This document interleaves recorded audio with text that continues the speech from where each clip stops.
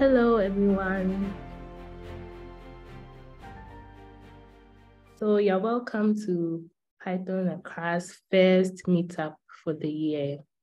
My name is El Karisa Siedu. I'm a software engineer at Zuberi, and I co-lead Pi Accra with Jerry Boaba, who is a software engineer at mPharma.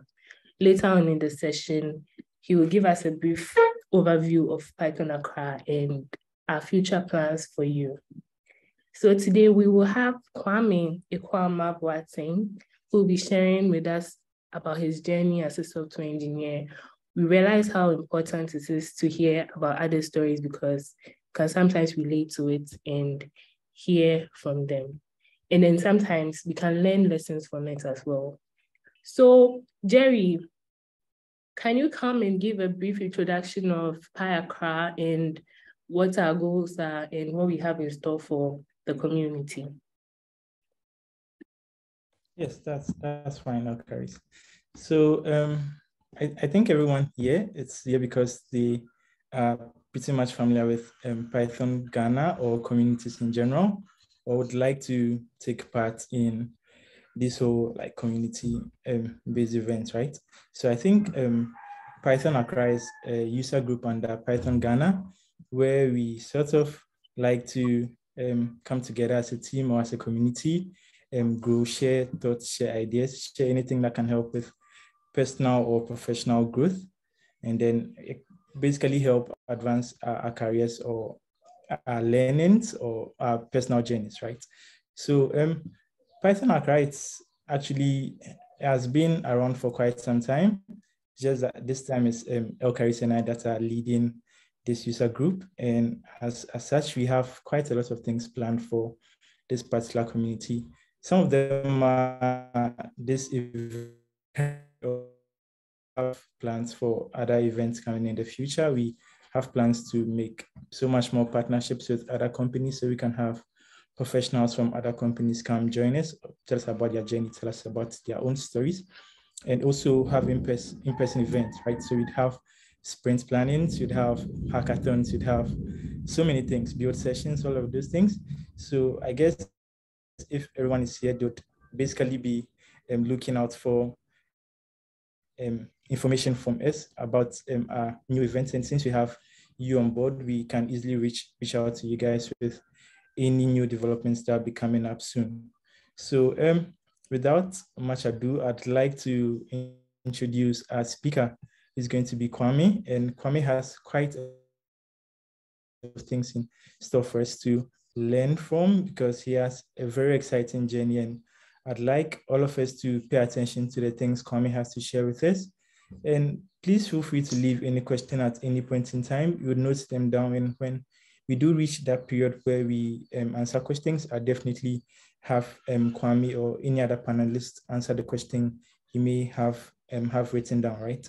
So yeah, um, I think uh, that's that's everything for now. We'll definitely um, cycle back on this particular topic, but I think now is the time to have our speaker tell us about his journey.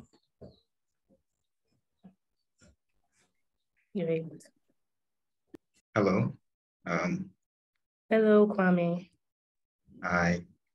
Um, good evening. Um, thank you guys for being here. Uh, I can see a couple of you guys around. Um, I'm really grateful that you made time to come here to listen to me um, talk about my journey so far. Um, so I think we'll basically get right into it. I don't have much time, and it's quite a long journey.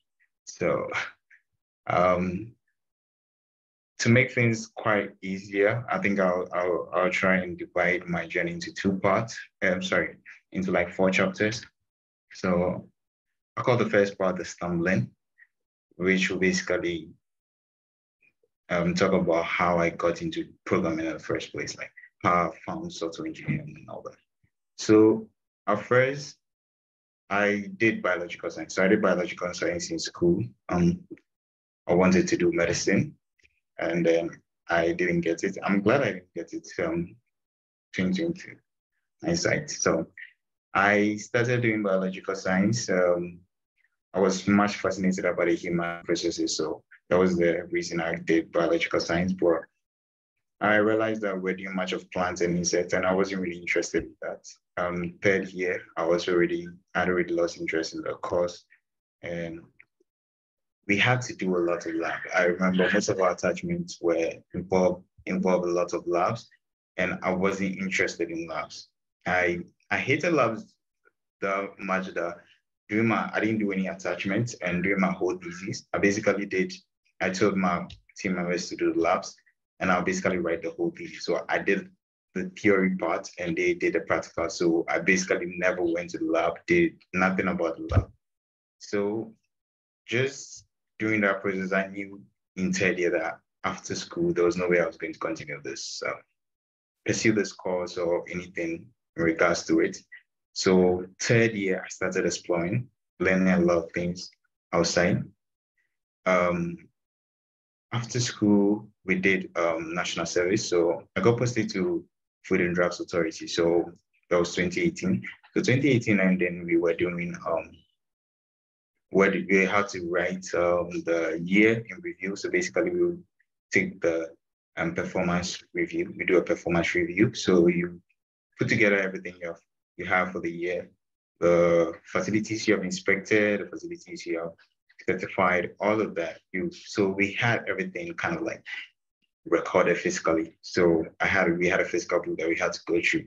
And if you can see me, I kind of have like four eyes. So going through as much finicky as I am, going through like a list of stuff, it, it, it, it wasn't something I, I wanted to do. So I think after that, I told my boss, there's no way I'm doing this again. So we have to find a better way. So during the Christmas, I think when we went for the break, I tried to learn Excel so that I can basically move everything we have in the spreadsheet. So we're about to start a new year, 2019. So 2019, I moved everything we had. So any record we had, anything that was coming in, we recorded in a book. And I also did one for Excel sheet that recorded things in. So it started as a database. And then I basically picked the KPIs that we had for, we used to do our reviews and stuff, reports and stuff, annual reports. So I basically took those KPIs, which is key performance indicators, and I built a dashboard. It was just me Googling things in Excel and then just fig, fig, figuring things out as I move along. I built a dashboard around it. So that was basically how it started. It was just Excel dashboard I was just trying to build. And then I got a database and I realized mm, I can make this, I can automate this. So we had, I basically wanted to automate a lot of the algorithmic activities we did. So most of the main mundane activities were just basic input and there's a specific output. So if I can automate that part, then we can free up time to do more heuristic tasks. So mostly I, after I built that, I think I, I figured out we had this thing where we do reports. So we write um, reports after inspecting a facility. So we had to get kind of like a, uh, um, they were just the same template with just different variables. So like a facility name, the day we inspected, the address, the facility. Those were the only things we were changing. So I had a database. I had this. How do I figure that out? So I knew it could be done. I didn't know how it was going to be done, but I knew it could be done. So I just Googled and checked, figured out things, and I found about mail merge. Is this word thing that people use to for like their weddings? They can just send like bulk mail to people. So I used that and I tuned into our purpose and I did it. So it was just that was basically it. Like I built this thing and I was trying to build up on it. And I was trying to build every day. I was trying to figure out how do I make this better? How do I make this better? So I was building, building, and then I started figuring. I, don't know if I had reached the limit of Excel, but I was looking for more ways to automate. And the more I search and I research, the more Python kept coming up. So that was basically how I stumbled on Python. So it was like, okay, this thing can be used to do this that I want to do. Okay, great. Then let me learn it. So it was 2019. Let me learn it. So I think during that time, I didn't have a personal laptop then.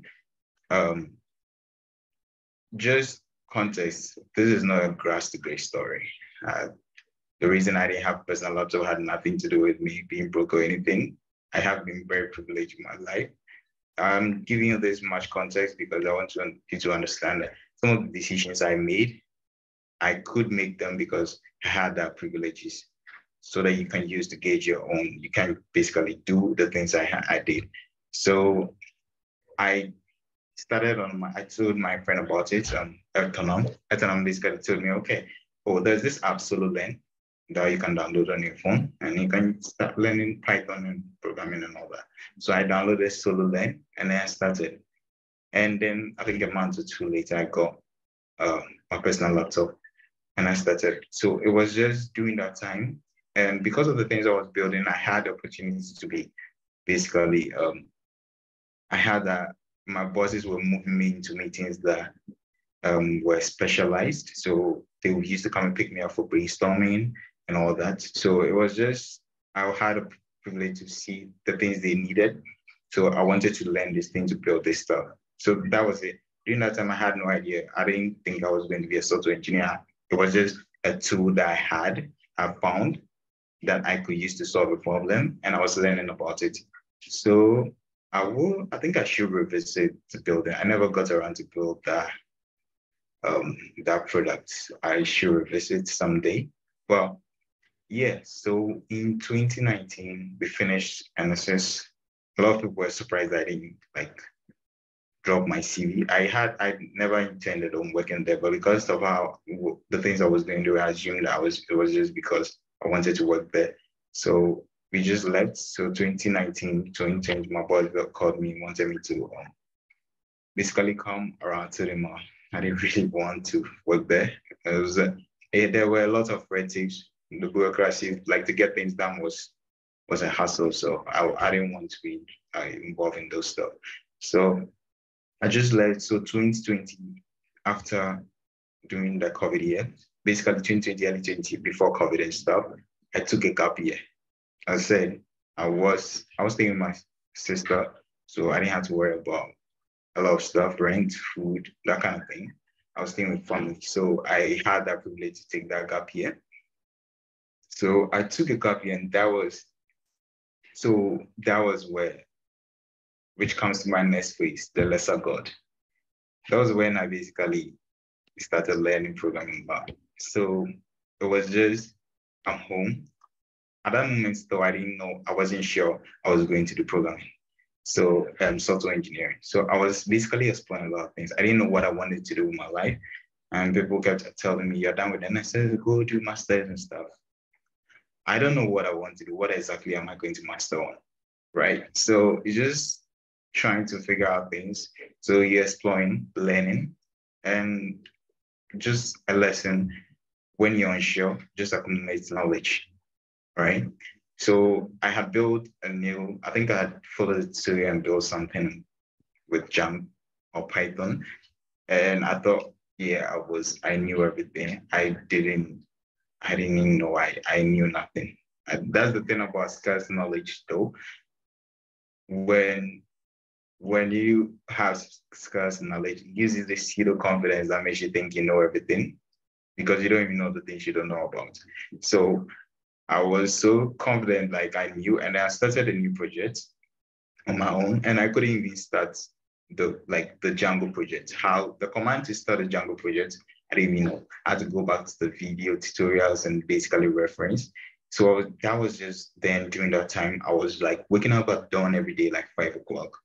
And then I'll just be sitting on my desk, just learning. And my sister mostly comes to my room like every morning when he wakes up, she mostly comes check up on me. So anytime she comes, I'm just sitting there, just on my laptop and everything. So eventually she started calling me a lesser god because I was just sitting there like an idol. Like those who understand she as a bosom. So basically, that was how she was me. So I was just doing that phase. Um, it was a lot of, it was a really hard time. You know, when you are trying to figure out things, you don't know what you want to do. So you, at one point, you don't even know your purpose, what you want to do. So that's one part you're trying to figure out. And then the other part is you are trying to learn a lot of these stuff that Sometimes they are confusing. And sometimes you get tired. You get bent out sometimes. You just rest. I'll I'll get out of it so when whilst you're learning, I get a lot of people reaching out to me, and then like sometimes I like I don't I'm not always learning. It's like I used to get out of it like for like a week out and then I revisit back. But the most important thing is I was just going back. So I think during mid 2020, that was when I realized this is where I want to do this thing. Like because the more I did, that is where I really found my joy in all, uh, all of all the things I was exploring, it was software engineering. So I, I just told my brother, I had learned for the GRE, but I wasn't really interested anymore. I'm just going to scratch it and then I'm just going to focus on um, software engineering. So don't waste your money. So I started just focusing on software engineering and I understood a lot of people have gone to school, did their own computer science, studied for four years. And they are now they are coming to this um, industry. And i'm trying to get into this industry. I had no computer science degree. I had no background. So how do i i understood i had to work twice as hard as other people because i had to find a way to show people i don't have any degree i don't have this but i can do this so how do i do that so it was just how to build how to build projects kind of build a portfolio so i was just basically building stuff. And the thing about when you're building stuff, break when you when you're learning, break a lot of stuff. Like don't be too worried about you. I think uh, there's this thing where people are so worried about errors and stuff. Break a lot of stuff. Like if I'm going, I'm watching a tutorial and some like the person did this and that. I'll intention, okay, so what if I omit this? What if I take this off? I broke a lot of stuff during my learning phase and I saw a lot of errors. I think that is what it has really helped me in debugging because I can now see an error and just know what's going on because I broke a lot of stuff. Like I was just basically, I'll comment this out, I'll do this. Okay, this happens. Okay.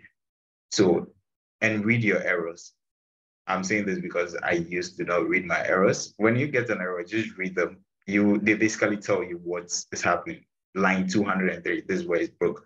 But the thing about errors, sometimes people, you see an error and just go straight to the code to see what is wrong with my code. Understanding the errors of your language is important. Knowing what value error is, what type error is, or understanding all this stuff is very important. It gives you a context of what exactly is going on, what you might be doing wrong. So during my learning phase, it was just me basically learning a lot of stuff. And I had a lot of, I had um, Kofi, Kran, one of uh, my friend, um, basically my childhood friend. We've been like from crutch to, and interestingly, I'm, I'm working with him right now at mPharma, and we're in the same team. So it, it was basically him, me just learning about um, me and him. He was the one person that um, had the experience in terms of software engineering. So he was basically teaching me stuff. And he was basically letting me know, okay, these are some of the things I did. So he started the experiences he had, the things he did that it didn't work or it couldn't work. He told me, okay, I did this stuff and did that. Don't do this stuff. So that was my one, like someone who also had helped me. He wasn't really a Python there, so it was hard getting back to him in terms of if I was struggling something Python or something. But most likely he mostly he, he had been doing it a while to understand how to Google stuff. So he could Google and then give me a solution. And yeah, but he was really helpful. And Kofi in uh, will, will be a recurring theme during the whole thing, this journey. So Kofi basically just told me focus on one thing, focus on one stack. At that moment, I didn't know uh, what I had. Okay, so now I was like, first, I didn't know I wanted to be in software engineering. Now I knew I want to be in software engineering, but I didn't know what part of software engineering I wanted to be, right? I didn't even know about, I, I found out about front end and back end in like on mPharma. The first time I found out about front end and back end was on mPharma's website. So I was so intrigued uh, about mPharma because when I was working at LV, they were the one of the companies I knew about uh, that had it was the kind of like they went to tech and they went to so when I figured that I could get into tech and this they were basically like the amalgamation of both biological science and tech. So I had each of my experiences could come in play in terms of if I worked at mPharma. So I took um, mPharma and I was like, okay, great. Um, I'm going to, I want to work at this place. Like, so back during that time, I was like, I want to work at this place, but I'll check their LinkedIn and everyone that was working there was had like three years experience, like four years. They were all basically like all senior engineers. So I was like, yeah, I, I think I have to go somewhere. So the plan was to go get a job somewhere, work for like one, two years, and then I'll try my luck there. But yeah, I just so the first time I found I found out about front end and back end at mPharma website, I basically called Kofi. I was like, I'd read about it. I read about it online, but it didn't really make sense.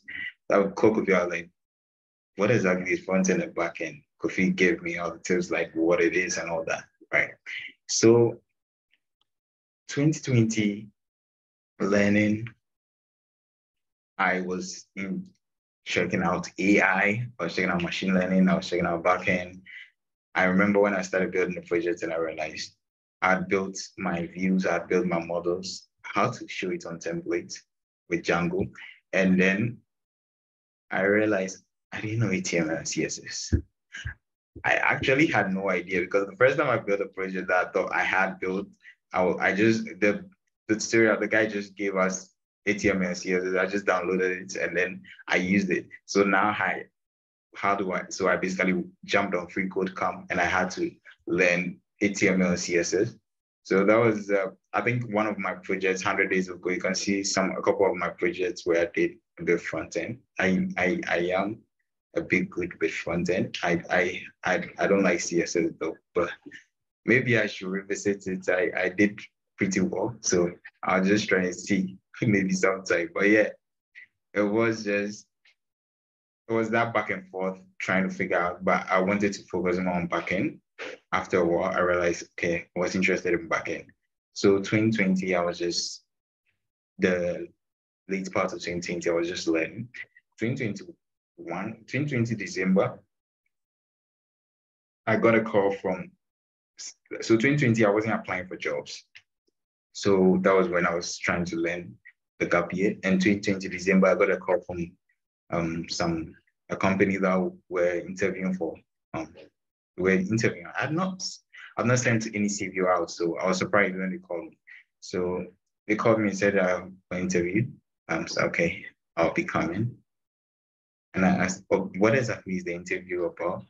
They said, oh, but you, you applied for the job. So yeah, I applied. I just applied for a lot of people. I don't remember. I had I hadn't applied to the company or any place, but they just we went there. We did interview. It was it wasn't related to software engineer. It was inventory.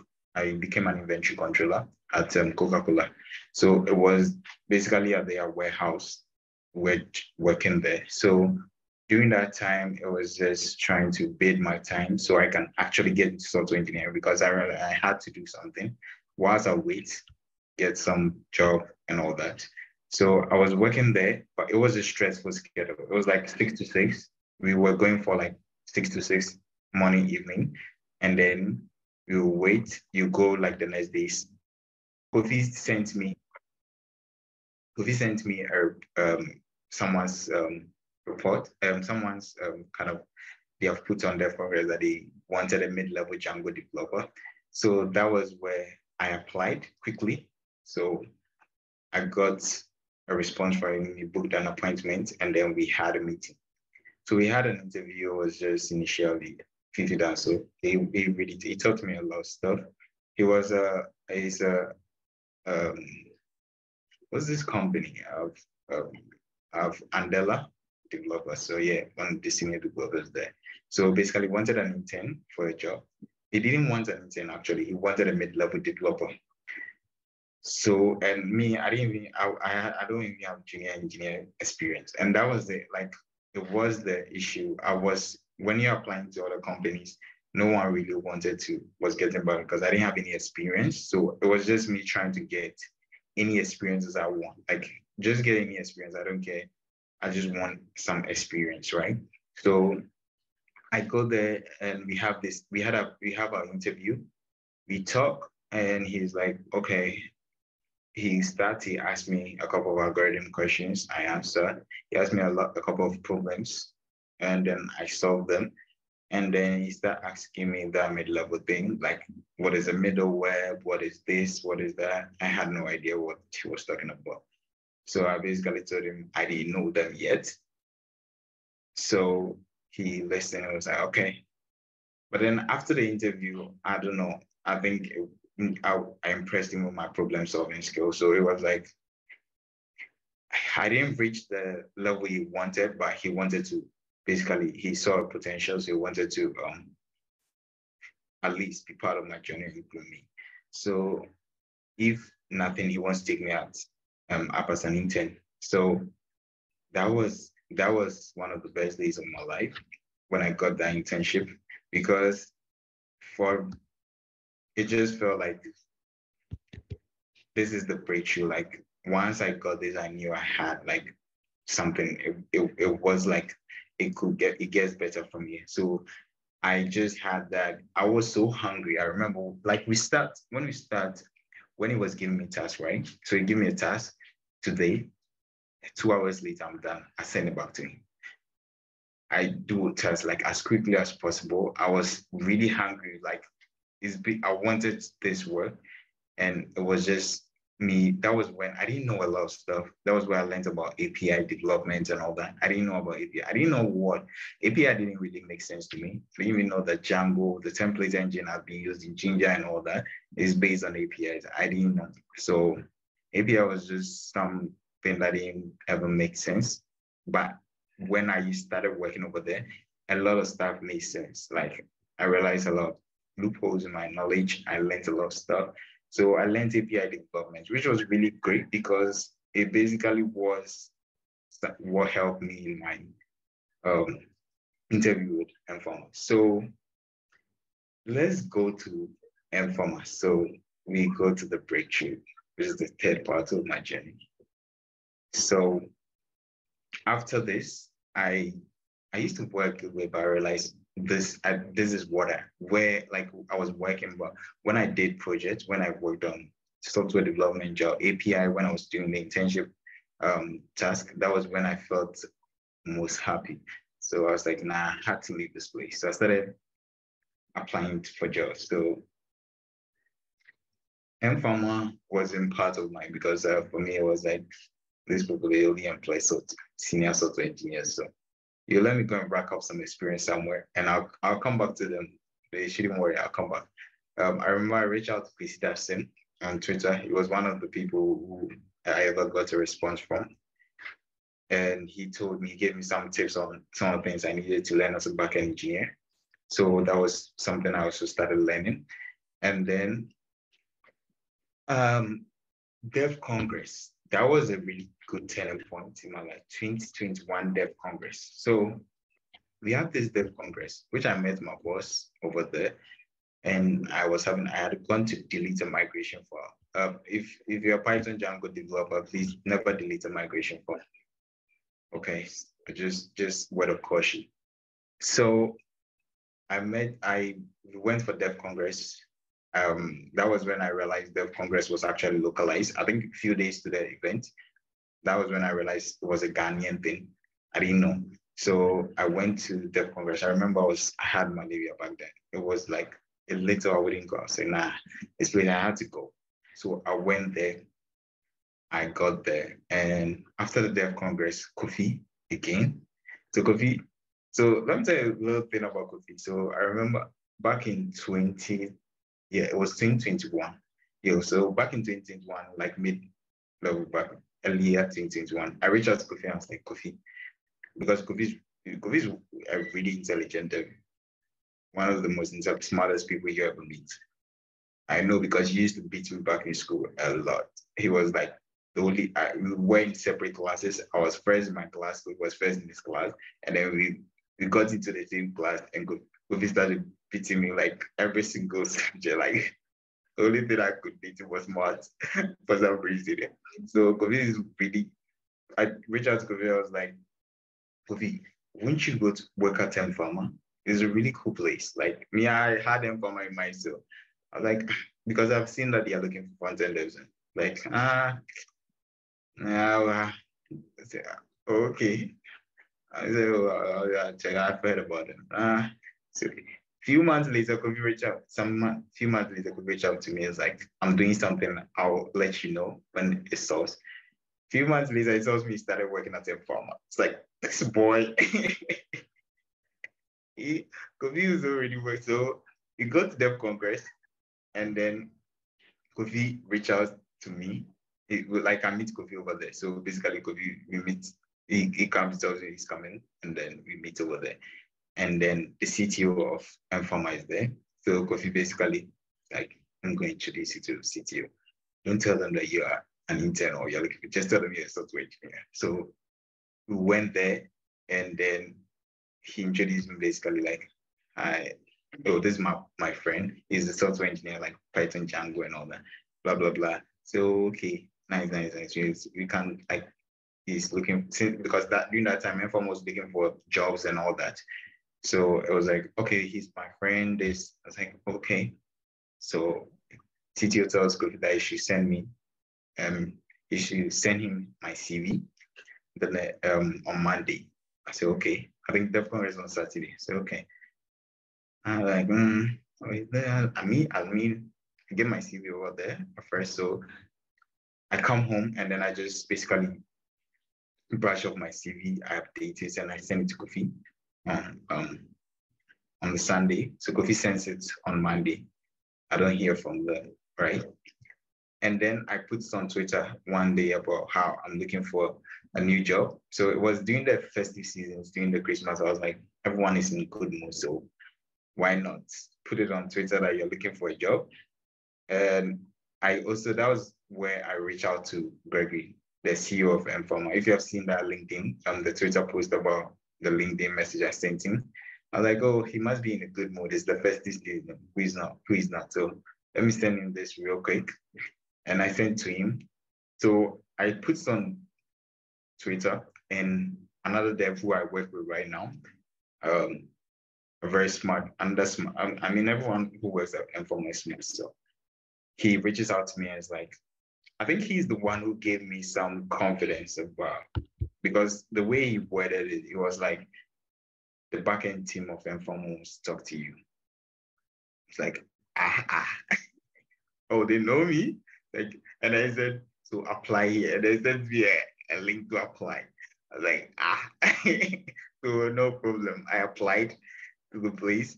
And then another guy also reached out to me who was who used to work at mPharma. Wanted us to collaborate on something. So it was like, all these people, mPharma, mPharma, mPharma. Maybe I have a chance to be at this place. Maybe I don't need to wait for a while to before I, I go to I, I don't need to work somewhere else before I get there. Why not? So I applied.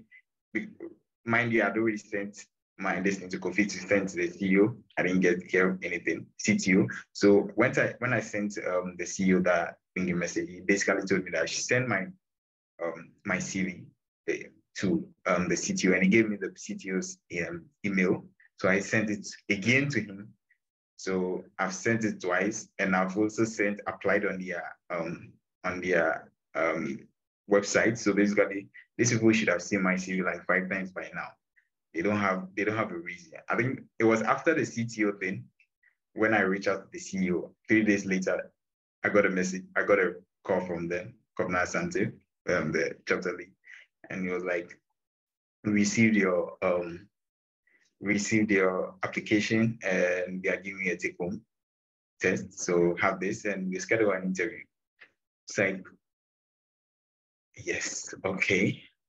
At least I am getting my foot on the door. I knew once I've got this place, I, I would ace whatever it is. So I basically checked out the take home and it was basically what I've been doing in my internship, what I got introduced to in my internship. So if I hadn't done my internship, I would have had some difficulties with it. It was literally what I was taught when I like the things I learned during my internship. API development. So I built that API. I had to Dockerize it. I had no idea what Docker was. So I basically just Googled it and then figured out, copied and pasted, and it worked. So yeah, I basically Dockerized my project. And then I reached out to um, this guy, Oliver Boama. I never had opportunity to work with him. The the month I started working at mPharma was the same month he quit. So I basically reached out to him. I basically went on LinkedIn and then looked at the people who work there and I reached out to them like for some tips, like I'm applying there. I'll see you soon at work. Me, me now I've not done interview. I was telling people I see them soon at work. So I was asking them for tips and stuff. So they gave me tips on some things like doing his own interview, um, how um, some of the questions he faced and all that. So I got those tips and my from my boss, which was the where I did my internship, he basically also took me and then he did um, a mock interview with me prior to the interview. So it was just you will see that throughout this story. It was just I had I didn't do this alone. It wasn't any self-made nonsense. It was a lot of people just pitching in and a lot of people helping me on the way that I got to this place. So it was I it just saw we did an interview. I don't know if I don't really know what if I did really great at the interview, but I asked answered the questions. And I think the beautiful thing about mPharma, yeah, is how the culture, the culture over there is amazing, the engineering culture. So it even showed during the interview process. So the interview process wasn't like uh, I ask you a question, you get it wrong, I'll note it down that you are wrong. You get it right, I'll note it down you're right. It was an interactive um, interview. So it was they asked me a question, I answer them, and if I miss something, okay, did you consider this? No, okay, you could have considered this, this would do this, and it will help this, this, and that.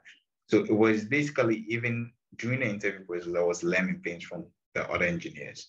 And after the interview process, right, so after we were done, I basically, it was during the questions where I had to ask questions. That was where I asked them, I asked them a lot of questions because I had, I was genuinely interested in the company. I want to work there. So I knew I'd been following the company, so I knew a lot about them. So I was basically asking them, just trying to get an insight into what happens over there. I don't know how much of that went into the whole thing, but why I'm I'm saying this was because the next interview that I had, what the CTO asked was, "Oh, you call me. Last time we met, you had some interesting questions." So I'm assuming that was kind of something you remember you remembered me by. So that's why I'm just saying it but it was basically me just saying, okay, great. Um, I this is my opportunity to meet these devs. Let me ask as much questions as I can, right? And during that whole time also, I had um, I was interviewing for another company. So after I did my first interview with mPharma, uh, my sister basically sent my name to another company that were looking for the developers. So they reached out to me. I did an interview and basically, so mPharma, the interview process was, it took a long time. So it was between December to February. So December, I started interviewing at mPharma. In January, I started interviewing at mPharma. December, I got the take home. January, I did my first interview. And then I had to do the interview at the other place. I wasn't really interested, but because my sister was away, so I had to go through as formalities. So I went through their phases. And then I did my second interview with mPharma in I think in January around there. It was it was like the second interview wasn't even like long. It was basically we started and it was like, oh, like I think I met the co-founder Dan Dan Shukimas. If if I hope most of you get to work at him from my he's very bubbly. He's a really great guy. So I basically met him. He asked me two questions. I was like, I don't need to ask you any more questions. You have great answers to. So I want you to be part of the team. Did I my head was swollen. I, I, I, I, I, I pretended that my head wasn't. It was very okay. But I knew, yeah. But I had to keep a good face. I was like, oh, thank you. But inside my head, it was like, hooray. But yeah, it was just me.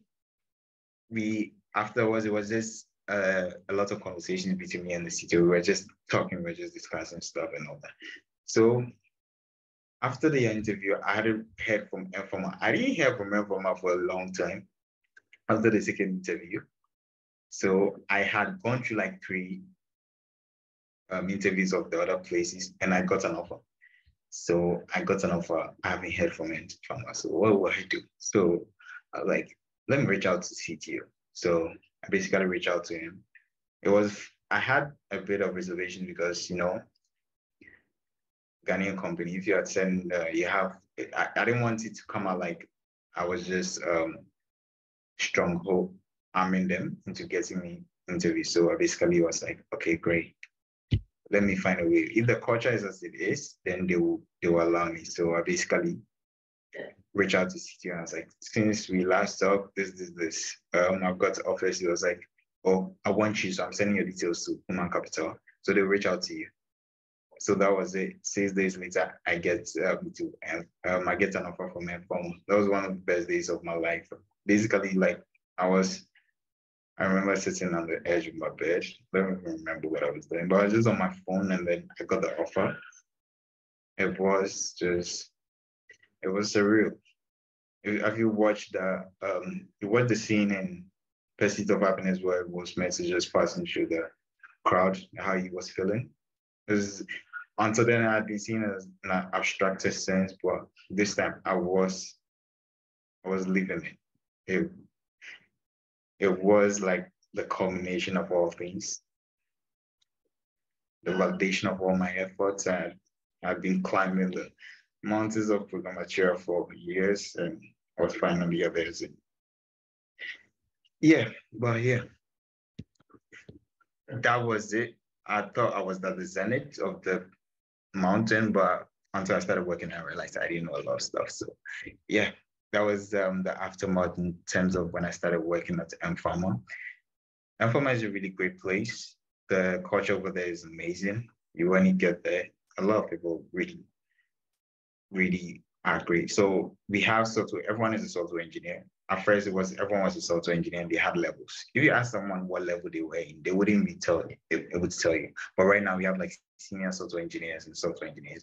But we are there's there's no you don't have a lot of segregation where you can point out yeah, oh, this is a senior software engineer. Like everyone's voice, they want to hear your voice. Everyone's voice is great to be heard. Intern, whatever. Intern even do code reviews and stuff, right? So everyone is we, because once you're there, they know you have something that's really great, and that's why they they, they employed you. So everyone is encouraged to be heard, and so I learned a lot of stuff at mPharma. It, it was really when I got there, I had I even bent myself out. My CTO talked to me like, relax, small and stuff, right? So it was just crazy. But I had after that, uh, it was just went through a learning phase. And that's when you realize, that's when I realized is after you get your first job, the, the journey actually starts. That's what my last phase was the beginning. That is when the journey actually starts. You realize that. So that's one thing I want to tell you. Like, don't wait to learn. Like you are saying, you want to learn to a certain point before you, you start applying. Start applying for jobs right now. I think that's why it took me three years before I got the new job. My first job was because I wasn't applying for jobs earlier. Start applying for jobs right now. When you know a little, you will learn a lot of stuff during the work process. When you start working, you will learn a lot of stuff. There's a lot of things that you you pick up when you start working, the tools that you use, but focus on fundamentals of computer programming. Just focus on the fundamentals. The tools you learn and stuff, you learn all on the job. You learn a lot of stuff on the job. So just focus on the fundamentals um, of computer engineering. I think for me, um, I had a, a, phase where I so I got to mPharma. I'm like a junior engineer, but then I got there and due to certain circumstances, I became the only backend engineer in my team. And I'm still figuring out things. And I had to learn a lot during that time. And that was where it's during those crucibles that a lot of growth happened, right? So that was where a lot of growth happened for me. And it was like they have put you in this water, you have to swim, but it's not like you can drown because there are a lot of the engineers, everyone is ready to help, right? In the, I think I told you this time, in the words of one of the greatest wizards, help will always be given out for God when you ask for it. So at mPharma is the same. You always get help when you ask for it. I have a lot of really smart people that I work with. And yeah, so basically I'm really honored and privileged to be at where I am. I'm learning a lot. And that's been my journey so far. I know it's quite boring. One thing you figure, you realize is um, I had a lot of help with from people. And secondly, it is not that extraordinary, so it can be replicated. So yeah, that is a that has been my journey so far. I hope I didn't bore you out to death, but yeah, thank you very much. Thank you very much, Kwame, for sharing your journey. I think most of us can relate to some parts of it, like the struggling aspects and the confusion at a point. Yes. Thank you very much for sharing with us. So there are a couple of questions in the chat. I'll read them out to you and address them for the participants. So Ike, Ike is asking, do you think that the hunger you had during your internship can be sustained for the duration of one software career? No, I don't think it it it it it, it would. I mean, it depends on you as a person, right? You don't have to. That's the thing about you don't have to bank everything on emotions. So you have to learn to figure out that okay, this is an emotion. It will fade out after a while, but you also have to make conscious efforts of I always have to learn new things. And the excitement will come when you are learning new things, right? So you're trying to explore something new and then you can't figure it out. It always always takes you back to that time back when you didn't know a lot. But the most important thing at this moment, you have a lot of context. Like it's easier to learn a lot of stuff now for me than it did when I was learning back then. But back then, it was a lot. Of, it took me a lot of years just hammering down the fundamentals. So I hammered down a lot of fundamentals, and then as I got to this point, learning tools becomes easier, right? So maintaining the hunger is just you trying to. You have to. You don't have to bank on the emotion that the hunger should be there. You have to make a conscious effort that okay, I need to be better than I was yesterday. So I have this list. Basically, I have a list of things. So I have this um, database on Notion. Anytime I, I, I hear about a new con- concept or something new I want to learn, I just put it in the list. So once a while, I pick one and then I start working, learning about um, that concept. So once you have that, you can have a sustained, making a conscious effort to have a sustained understanding because it's a long journey. It never ends it only ends. The thing about pursuit of knowledge is it's perpetual. When you move from that state of unknown to the state of known, the state of known brings so many questions, leads you back to the state of unknown. It's the never ending cycle, only ends when you lose enthusiasm. So it all starts from you holding on to that effort, like I want to make a conscious effort. So it might, that emotion might not be sustained, but you can make a conscious effort that, yeah, I want to continuously learn. And that will basically give the same effect as the hunger that you you once had. Yeah. All right. Thank you very much. I hope this answers your question, Ike. So there's another one which says, is there a community where young people who are in tech in the tech industry can get help from? I, I don't, yeah, basically tech Twitter, Ghanaian tech Twitter, right? I think you can reach out to a lot of people. Sometimes you might not get people might not help, um, might not get you. Sometimes it's not that they don't want to. Sometimes people are just too busy, so they never reach out. I try to, because of my experience, I try to always help anyone who comes to my DM as much as I can, right? But I think one thing you also need to, when you are going, I think people go with, I want you to be my mentor and all that. Don't don't don't worry about. Don't go with that. If you pick someone and you, you idolize the person and want to the person to mentor you. You don't go to the, like, I want you to be my mentor. Wait, when you get an issue, a problem, go to the person with that specific problem. Hi, I'm doing this, I'm building this, I'm having this error. Don't end it there. I've tried this, I've tried that, but it's still prevalent. So what do I do? This, first of all, you have come to the person with a specific issue. You have told him the things you have solved, which shows that you have you were also you have taken initiative to solve the problem. You have googled, you have made your own um, um taking your own initiatives, and then after that, they also know that okay, I can rule out this and this because it didn't solve the problem. So they can now focus and can basically, and that's the thing with um seasoned um, developers, engineers, they can just based on the things you have done, based on the things you have, they can just say, okay, do this, it will solve it right? But you don't need to go, I want you to be my mentor and this is, they might not mind you. Yeah. Just wait. And you have a lot of people, just reach out to them when you need help. That's all. So on tech Twitter, just figure out, um, join the developers, the Ghanaian developers, figure out who, which people you want to model, then just follow them when you need help. There's Kwesi Singh, there's um who again? I think there, there are lots of I don't remember US Derry, Kwesi Singh, we have Jerry. We have Jerry. Yeah. You have Jerry, you have Ben, you have uh, you have a lot of really smart um, developers. So just reach out to them. Um, if if if you are having mobile, you should go to Isaac. Hey, Apis, uh, go to that guy. He's very he's very very smart. So yeah, that's it. All right, thank you. So Tim also wants to know what advice you would give someone who just got their first real job as a software developer. So, if you got your first job as a software engineer, right, you have to first understand. I think it also comes back to sometimes people having like imposter syndrome. You have to first understand, right? The things you learned when you were learning is this when you get a job is in whole different um, terrain, right? You are into a new place where you're not just building for yourself or personal projects. You are thinking about extensibility, maintainability, how scalable your code will be when you start building. So like you have a lot of things you have to think about when you're just writing code. So something that it should be able to take you like five minutes to write. Now it's taking you like a day or two, right? Just understand that this is there's a lot of things that I don't know and I'm here to learn a lot of stuff.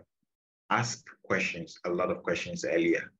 You want to ask um, a lot of dumb questions earlier when you started working at place because everyone expects you not to know this stuff until other and instead of waiting for like a year or two after you've been there and then you start asking those questions, right? So ask a lot of dumb questions, ask a lot of questions. Don't think it's dumb or anything. You don't know something, ask. Even if you know, ask. Don't go and tell them that oh, I saw this and I saw that, um, but I can do it this way. When you go and meet a code base and it's quite like you are not quite familiar or you think is you can do better, first ask, um, I saw this code base, given the, is there a reason why we did this and that? They'll tell you why. You realize that the reason why you thought it was dumb, it was actually the perfect reason. So when you start, understand that this is where I'm about to learn. So you meet a lot of things that you don't know.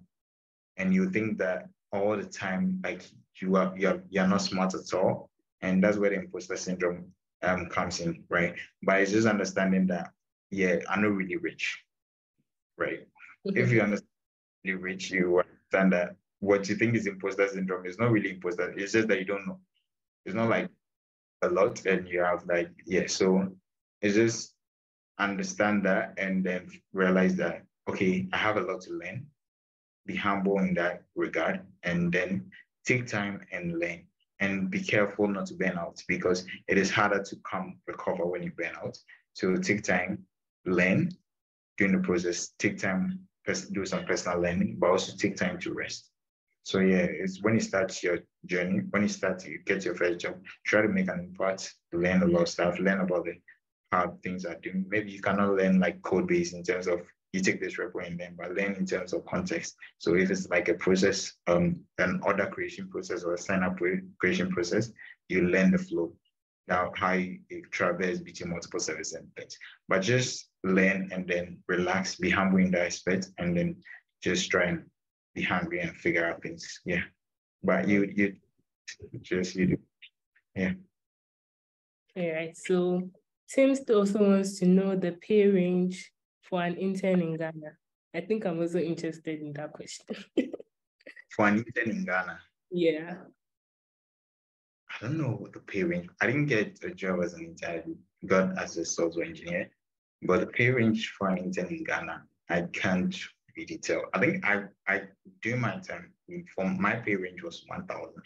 I got I was taking one thousand, but it was a part time job. It was a part time job. Yeah. So yeah. That's basically. All right. So I want to know how would you advise, what advice would you give to us beginners on how to handle rejections?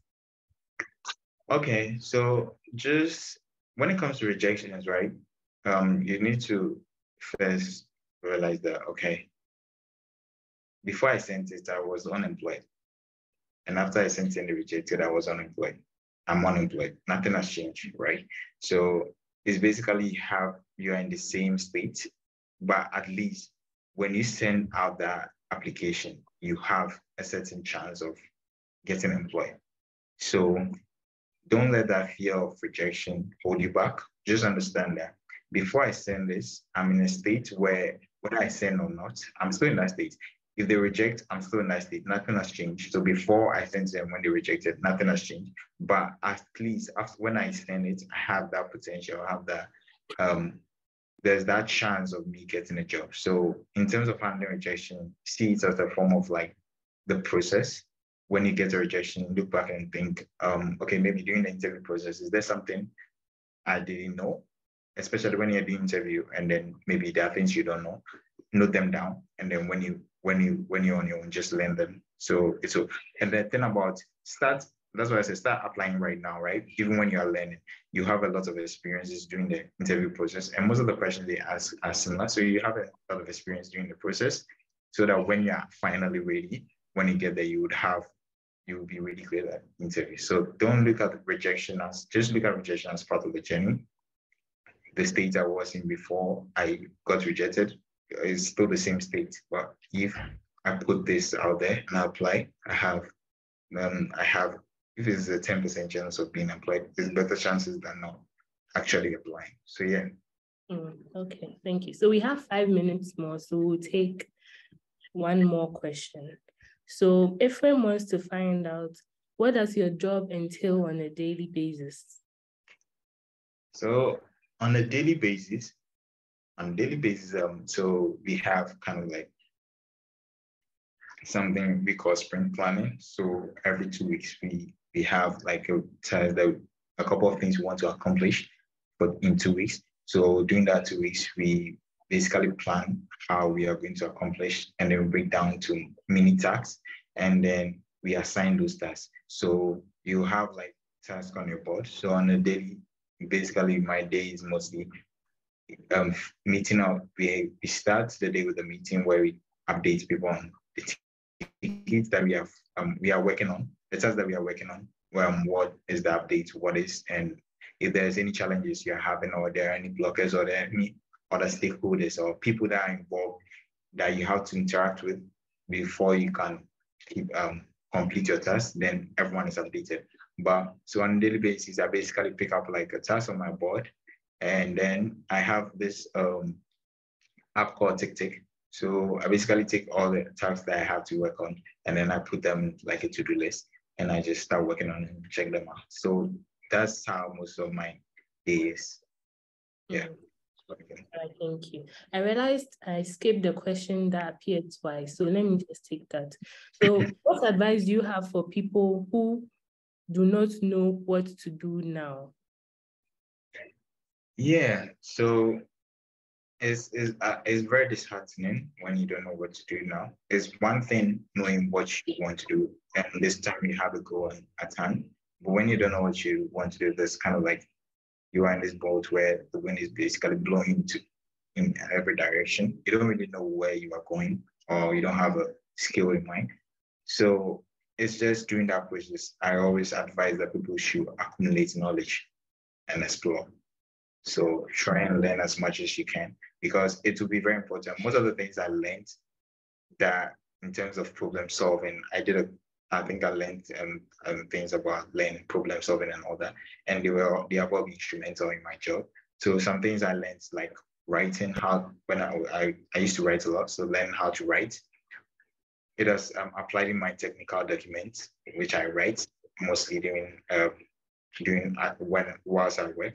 So just accumulate knowledge and explore a lot of stuff. Something will click, and when it clicks, finally you have like a goal and then narrow down to that and then move on. I think um, in terms of software engineering, I think one thing I want to say really quick that software engineering is not just about coding.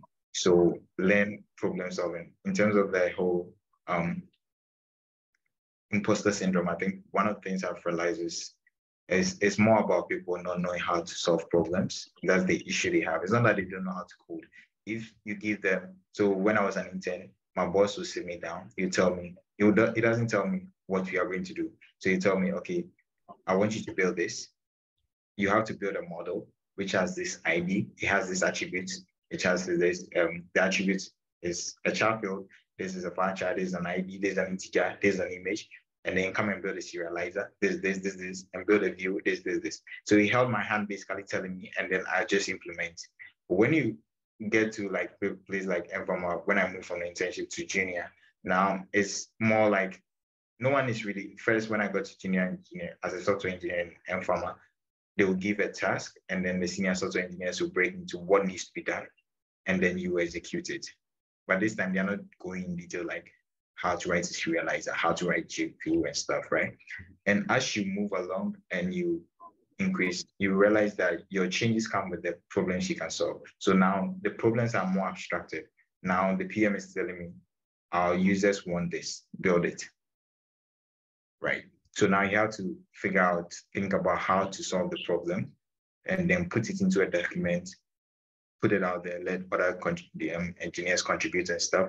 And before you start building, so most of the issue now is problem solving in terms of right now you have gotten to a place where yeah, most of especially when you are working at startups and many places like small places where it's not really um, you have most of the things will be, oh, we have this issue, build it. And you have an intern that you don't know a lot, a lot of things. So you have always been held during your tutorials, you write this model, you do this. You don't really think about logic much, but now they are telling you to solve a problem. So if possible, figure out, learn about problem solving. Like if you can basically pick up a course in terms of problem solving, how to think logically and stuff, just learn about them. It will really be very instrumental in your business. So that is one thing I just want to let people know. All right. Thank you very much, Kwame, for your time. So Jerry would wrap up the session. Thank you, Elkaris. Thank you, Kwame. It's been very nice getting to know about your journey. And I know this is not the end. There's pretty much a lot to come, right? So before we wrap up, I, I think I'd, I'd, want you to um, put in the chat how some of the attendees can reach you on social media platforms. And I think, yeah, for anyone who'd be interested in wanting to speak to you further, they could always easily reach out to you, right? So um, thank you everyone once again for joining. We are very happy you made the time to speak to us or to listen to Kwame's journey. Hopefully um, we come up with a more interactive session. I think we are looking forward to organizing an in-person one where I'll be sure to drag Kwame along so you can meet him in person and uh, force him to listen to your, your piece of wanting him to mentor you, right? And so yeah, I, I do want to have other professionals on board from our partnership with mPharma and the subsequent um, partnerships we are looking for to secure. So hopefully we can meet some other time. We can talk about some more interesting stuff and we can get to network, socialize, and get to meet each other, right? So um, I think this is a very good start for Python Accra, and I'm looking forward to our next event, which is which will be communicated to everyone that attended this event through your emails. So thank you guys very much for taking the time to join. Thank you so much, Kwame. Thank you, Caris, and thank have you. One. Okay. Yeah. Hi. Everyone for coming. I really appreciate it. Bye. Bye. Bye.